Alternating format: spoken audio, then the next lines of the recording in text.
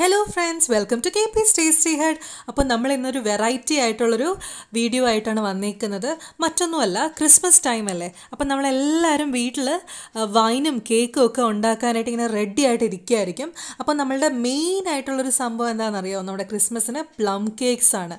അപ്പോൾ നമ്മൾ ഈ പ്ലം കേക്ക്സിന് വേണ്ടിയിട്ട് ഫ്രൂട്ട്സ് നമ്മൾ നല്ലപോലെ സോക്ക് ചെയ്ത് വെക്കേണ്ട ആവശ്യമുണ്ട്. അപ്പോൾ നമ്മൾ ഫ്രൂട്ട്സ് ഡയറക്റ്റ്ലി അല്ല ഇതിനകത്ത് ചേർക്കുന്നത്. നമ്മൾ വൈനിലോ അല്ലെങ്കിൽ റമ്മിലോ വിസ്കി ബ്രാൻഡി ഇതിലൊക്കെ സോക്ക് ചെയ്ത് വെച്ചിട്ടാണ് ഫ്രൂട്ട്സ് എടുക്കുന്നത്. അപ്പോൾ ഞാൻ അതിന് വേണ്ടിയിട്ട് ഉള്ള ഫ്രൂട്ട് സോക്കിംഗ് ആണ് ഇവിടെ കാണിക്കാൻ പോകുന്നത്. അപ്പോൾ അതെങ്ങനെയാണെന്ന് നോക്കാം. അപ്പോൾ ഞാനിവിടെ കുറച്ച് എന്റെ കയ്യിലുള്ള കുറച്ച് ഡ്രൈ ഫ്രൂട്ട്സ് ഞാനിവിടെ എടുത്തിട്ടുണ്ട്. അപ്പോൾ നിങ്ങളുടെ കയ്യിൽ എന്തൊക്കെയുണ്ടോ അതെടുത്താൽ മതി. ഇതിലെല്ലാം വേണമെന്നൊന്നുമില്ല. നിങ്ങളുടെ കയ്യിൽ എന്തൊക്കെയുണ്ടോ അത് വെച്ച് നിങ്ങൾ ചെയ്യാം. ഇത് മിനിമം ഒരു മാസമെങ്കിലും സോക്ക് ചെയ്ത് വെച്ചിട്ട് മാത്രമേ നമ്മൾ യൂസ് ചെയ്യാൻ പാടുള്ളൂ. അപ്പോൾ ഭയങ്കര ടേസ്റ്റ് ആയിരിക്കും. ഇരിക്കും തോറും ഇതിന്റെ ടേസ്റ്റ് കൂടിക്കൂടി കൂടി വരും. അപ്പോൾ നമുക്ക് ആദ്യം ഇതിൽ കുറച്ച് ഫ്രൂട്ട്സ് ഒക്കെ ഒന്ന് കട്ട് ചെയ്തെടുക്കാനുണ്ട്. ഞാനപ്പോൾ ആദ്യം നട്ട്സ് ഒന്ന് കട്ട് ചെയ്തെടുക്കുവാണേ.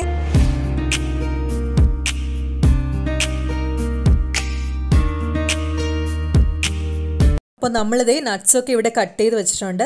ഇനി നമുക്ക് അടുത്തതായി കട്ട് ചെയ്യാൻ പോകുന്നത് സ്ട്രോബെറിയാണ് അപ്പോൾ ഇതെല്ലാം ഇപ്പോൾ ഷോപ്സിലൊക്കെ അവൈലബിൾ ആണ് ഈ ഡ്രൈ ഫ്രൂട്ട്സിന്റെ ഷോപ്സിൽ അപ്പോൾ അത് നമുക്ക് ഇനി ഒന്ന് ചെറിയ ചെറിയ പീസസ് ആയിട്ടൊന്ന് കട്ട് ചെയ്തെടുക്കാം. സ്ട്രോബെറി എല്ലാം നമ്മളിവിടെ കട്ട് ചെയ്ത് വെച്ചിട്ടുണ്ട്. ഇനി നമ്മൾ കട്ട് ചെയ്യാൻ പോകുന്നത് ചെറിയാണ്. അതും ചെറിയ ചെറിയ പീസസ് ആയിട്ട് നമുക്കൊന്ന് കട്ട് ചെയ്തെടുക്കാം.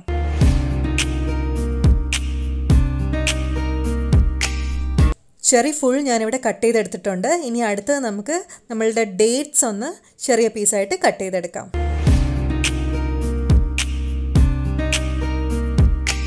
അപ്പോൾ ദേ നമ്മളുടെ ഫ്രൂട്ട് മിക്സിങ്ങിനുള്ള ബൗൾ ഞാനിവിടെ റെഡിയാക്കി വെച്ചിട്ടുണ്ട്. നമ്മളുടെ ഡ്രൈ ഫ്രൂട്ട്സും എല്ലാം ഞാൻ കട്ട് ചെയ്ത് വെച്ചിട്ടുണ്ട്. അപ്പോൾ ഇനി നമുക്ക് എന്താ ചെയ്യേണ്ടതെന്ന് വെച്ചാൽ ഇതെല്ലാം ഒന്ന് മിക്സ് ചെയ്ത് തുടങ്ങാം. അപ്പോൾ നമ്മൾ ഓരോന്നോരോന്നായിട്ട് മിക്സ് ചെയ്യാൻ പോവുകയാണ് അപ്പോൾ ആദ്യം ഞാൻ കട്ട് ചെയ്ത് വെച്ച നട്ട്സ് ഇതിലേക്ക് ദേ ആഡ് ചെയ്ത് കൊടുക്കുന്നു. നിങ്ങൾക്ക് ഇഷ്ടമുള്ള ക്വാണ്ടിറ്റി എടുക്കുക കേട്ടോ. ഞാനെല്ലാം ഒരു ഒരു കപ്പ് അളവിൽ അരക്കപ്പും ഒരു കപ്പും ഒക്കെ ആയിട്ടാണ് എടുത്തേക്കുന്നത്. ഇനി ഞാൻ ഇതിലേക്ക് ചേർക്കാൻ പോകുന്നത് അരിഞ്ഞു വെച്ചേക്കുന്ന ഡേറ്റ്സ് ആണ്. അതും ഇതിന്റെ കൂടെ ഒന്ന് ചേർത്ത് കൊടുക്കുക. ചിലർ നട്ട്സ് ഈ സമയത്ത് ചേർത്ത് കൊടുക്കാറില്ല. ഞാൻ കുറച്ച് നട്ട്സ് ചേർക്കാറുണ്ട്. അല്ലാണ്ട് ഫ്രഷ് ആയിട്ടും കേക്ക് ഉണ്ടാക്കുന്ന സമയത്ത് ആഡ് ചെയ്ത് കൊടുക്കാറുണ്ട്. ഇനി നമ്മൾ ഇതിലേക്ക് ചേർത്ത് കൊടുക്കാൻ പോകുന്നത് മിക്സഡ് ഡ്രൈ ഫ്രൂട്ട്സ് ആണ്. അതെന്ന് പറഞ്ഞാൽ നമ്മളുടെ കിവി അതുപോലെ തന്നെ ബാക്കിയുള്ള ഫ്രൂട്ട്സ് ജിഞ്ചർ എല്ലാത്തിന്റെയും ഡ്രൈഡ് ആണിത്. അപ്പോൾ നമ്മളിത് മിക്സഡ് ആയിട്ട് ഇപ്പോൾ ഷോപ്സിലെല്ലാം അവൈലബിൾ ആണ്. അപ്പോൾ അത് വാങ്ങി യൂസ് ചെയ്താൽ കുറച്ചുകൂടെ ഈസിയാണ് അപ്പോൾ ഞാൻ ദേ അതും ഇതിലേക്ക് ചേർത്ത് കൊടുക്കാൻ പോവുകയാണ് അപ്പോൾ ഇതുപോലെ തന്നെ നിങ്ങൾക്ക് ഇതിലേക്ക് ഫിക്സോ ആപ്രിക്കോട്ടോ എന്ത് വേണേലും ആഡ് ചെയ്ത് കൊടുക്കാം. ഞാനിപ്പോൾ അതൊന്നും യൂസ് ചെയ്തിട്ടില്ല.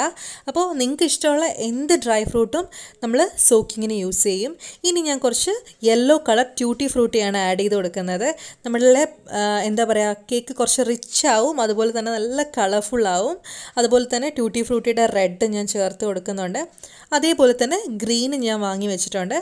അത് ചേർത്ത് കൊടുക്കുകയാണ്. അപ്പോൾ കണ്ടോ ഇപ്പം നമ്മളുടെ ഫ്രൂട്ട് മിക്സ് നല്ല കളർഫുൾ ആയില്ലേ? എല്ലാ കളേഴ്സും കൂടെ വന്നിട്ട് ഭയങ്കര കളർഫുൾ ആയിട്ടുണ്ട്.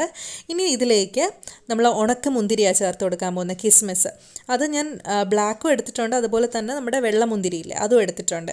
അപ്പോൾ ഇത് രണ്ട് നമ്മൾ വാങ്ങി നല്ല കഴുകി വൃത്തിയാക്കി ഉണക്കി എടുത്തിരിക്കുന്നതാണ് കേട്ടോ. അല്ലാതെ നമ്മൾ ഡയറക്റ്റായിട്ട് ഒരിക്കലും യൂസ് ചെയ്യരുത്.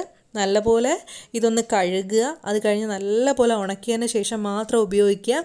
വെള്ളത്തിന്റെ അംശം ഒരിക്കലും പാടില്ല. നമ്മൾ ഈ മിക്സിങ്ങിൽ എവിടെയും വെള്ളത്തിന്റെ അംശം പാടില്ല. ഇനി ഇതേ കട്ട് ചെയ്ത് വെച്ചേക്കുന്ന ചെറി ഞാൻ ഇതിലേക്ക് ചേർത്ത് കൊടുക്കുകയാണ്. ഇതിൽ ഏത് ഫ്രൂട്ടായാലും നമ്മൾ എടുക്കുന്ന പാത്രത്തിലോ ഒന്നും വെള്ളം പാടില്ല. ഞാൻ സ്ട്രോബെറിയും കൂടി ആഡ് ചെയ്ത് കൊടുത്തിട്ടുണ്ട്. ഇനി ഇതിലേക്ക് ഞാൻ കുറച്ച് പൈനാപ്പിൾ ജാമാണ് ചേർത്ത് കൊടുക്കാൻ പോകുന്നത്. ഏതാണ്ട് രണ്ട് ടേബിൾ സ്പൂൺ ഉണ്ട് ഇതിൽ അപ്പോൾ നമുക്ക് ആ പൈനാപ്പിളിന്റെ ഒരു ഫ്ലേവറും കൂടി കിട്ടും. അതിന്റെ കൂടെ ഞാൻ കുറച്ച് റാസ്ബെറി ജാമും കൂടി ആഡ് ചെയ്ത് കൊടുക്കുകയാണ് ഇതിലേക്ക്. ഈ ജാമൊക്കെ ചേർക്കുമ്പോൾ തന്നെ നമ്മളുടെ ഫ്രൂട്ട്സ് ഇതിനകത്ത് കിടന്ന് നല്ലപോലെ ഒന്ന് സോക്കായി കിട്ടും. ഇനിയാണ് നമ്മൾ ഏറ്റവും ഇമ്പോർട്ടന്റ് ആയിട്ടുള്ള സ്പൈസസ് ചേർക്കാൻ പോകുന്നത്. പട്ട ഏലയ്ക്ക ഗ്രാമ്പു ജാതിക്ക. ഓക്കെ ഇത് ഇത്രയും നമ്മൾ ബേസാണ് ഏറ്റവും കൂടുതൽ ടേസ്റ്റ് കൊടുക്കുന്ന ഒന്നാണ് നമ്മളുടെ സ്പൈസസ് ബാക്കിയുള്ള കേക്ക്സ് പോലെയല്ല നമ്മുടെ പ്ലം കേക്ക് ഇങ്ങനെ സ്പൈസ് യൂസ് ചെയ്തിട്ടാണ് ഉണ്ടാക്കുന്നത്. അപ്പോൾ ഇതിന്റെ ടേസ്റ്റ് ഒരല്പം മുമ്പോട്ട് നിൽക്കണം. ഞാൻ ദേ ഇതെല്ലാം കൂടി ചേർത്ത് ഇവിടെ മിക്സിയിലിട്ട് നല്ലപോലെ പൊടിച്ചെടുത്തിട്ടുണ്ട്. അപ്പം നമുക്കതൊന്ന് ഇതിലേക്ക് ചേർത്ത് കൊടുക്കാം. നമ്മൾ ഈ ഡ്രൈ ഫ്രൂട്ട്സ് എല്ലാം ഈ സ്പൈസസിലൊന്ന് മിക്സ് ചെയ്ത് കഴിയുമ്പോൾ ഈ സ്പൈസസിന്റെ മണം കുറച്ച് മുമ്പോട്ട് നിൽക്കണം. നല്ലൊരു മണം കിട്ടണം. അപ്പോൾ അത്രയും ക്വാണ്ടിറ്റി നമ്മൾ സ്പൈസസ് ആഡ് ചെയ്യുക. അപ്പോൾ ഇതിലേക്ക് ഞാനൊരു നാല് ടീസ്പൂണോളം ആഡ് ചെയ്തിട്ടുണ്ട്. ഇനി നമുക്കിത് നല്ല പോലെ ഒന്ന് മിക്സ് ചെയ്തെടുക്കണം. അടുത്തയായിട്ട് ഞാൻ ഇതിലേക്ക് ചേർക്കാൻ പോകുന്നത് ഓറഞ്ച് ജ്യൂസ് ആണ്. അപ്പോൾ ഈ ഓറഞ്ച് ജ്യൂസ് എങ്ങനെ ചെയ്തേക്കുന്നതെന്ന് വെച്ചാൽ ഒരു ഓറഞ്ചിന്റെ ജ്യൂസ് എടുത്തിട്ട് അതിലേക്ക് കുറച്ച് ഓറഞ്ച് പീൽ ഞാൻ ആഡ് ചെയ്ത് കൊടുത്തിട്ടുണ്ട്. ഇത് രണ്ടും കൂടി പഞ്ചസാര ഒരു ടീസ്പൂൺ പഞ്ചസാരയും കൂടി ഇട്ട് നല്ല പോലെ തിളപ്പിച്ചെടുത്തേക്കുന്നതാണിത്. അപ്പോൾ കണ്ടോ നല്ല കട്ടിക്ക് കുറുകി വന്നിട്ടുണ്ട്. അതാണ് നമ്മൾ ഇതിലേക്ക് ചേർത്ത് കൊടുക്കുന്നത്. ഡയറക്റ്റ് ആയിട്ട് ഓറഞ്ച് ജ്യൂസ് നമ്മൾ ആഡ് ചെയ്ത് കൊടുക്കാൻ പാടില്ല. അങ്ങനെ ചേർത്താൽ നമ്മളുടെ മിക്സ് കേടായി പോവും. അപ്പോൾ അതുകൊണ്ട് നമ്മൾ എപ്പോഴും ഇതുപോലെ ഫ്രൂട്ട്സ് ചേർക്കുകയാണെങ്കിൽ നല്ല തിളപ്പിച്ചതിന് ശേഷം മാത്രം ഫ്രൂട്ട് ജ്യൂസസ് ചേർക്കുക. അതേപോലെ തന്നെ ഞാൻ ക്രാൻബെറിയുടെ ജ്യൂസും എടുത്തിട്ടുണ്ട്. അതും ഇതുപോലെ പഞ്ചസാര ചേർത്തിട്ട് നല്ല പോലെ തിളപ്പിച്ചെടുത്തതാണ്. രണ്ട് ഫ്രൂട്ട് ജ്യൂസസും ഓരോ ടേബിൾ സ്പൂൺ വെച്ച് ആഡ് ചെയ്തിട്ടുണ്ട്. ഇനി നമുക്കിതൊന്ന് മിക്സ് ചെയ്തെടുക്കാം. ഇനി ഇതിലേക്ക് സോക്ക് ചെയ്യാൻ ആവശ്യത്തിനുള്ള വൈറ്റ് ഗ്രേപ്പിന്റെ വൈനാണ് ഞാൻ ആഡ് ചെയ്ത് കൊടുക്കുന്നത്. അതിന് കൃത്യമായ അളവൊന്നുമില്ല കേട്ടോ. നമ്മൾ സോക്ക് ചെയ്യാൻ ആവശ്യത്തിനുള്ള വൈൻ ആഡ് ചെയ്ത് കൊടുക്കുക. അപ്പോൾ ഞാൻ അത് കുറച്ച് ആഡ് ചെയ്തിട്ടുണ്ട്. ഇനി ഇതേപോലെ തന്നെ നമ്മളുടെ നോർമൽ ഗ്രേപ്പ് വൈനും കൂടെ ഞാൻ ആഡ് ചെയ്ത് കൊടുക്കുകയാണ്. അപ്പോൾ ഞാൻ ഇത് രണ്ടുമാണ് സോക്കിങ്ങിന് യൂസ് ചെയ്യുന്നത്. മറ്റ് തരത്തിലുള്ള റമ്മോ വിസ്കിയോ ബ്രാൻഡിയോ ഒന്നും ഞാൻ യൂസ് ചെയ്യുന്നില്ല. ഞാൻ വൈൻ വെച്ചാണ് സോക്ക് ചെയ്യുന്നത്. ഇനി ഇതിലേക്ക് നമ്മൾ അവസാനമായിട്ട് ആഡ് ചെയ്യാൻ പോകുന്നത് ഹണിയാണ്.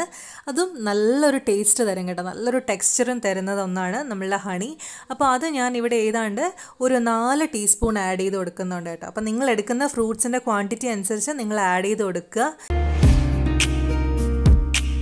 നമ്മൾ എല്ലാ ഇൻഗ്രീഡിയൻസും ആഡ് ചെയ്ത് കഴിഞ്ഞു. ഇനി ഇത് നല്ലപോലെ ഒന്ന് നമുക്ക് മിക്സ് ചെയ്തെടുത്താൽ മാത്രം മതി.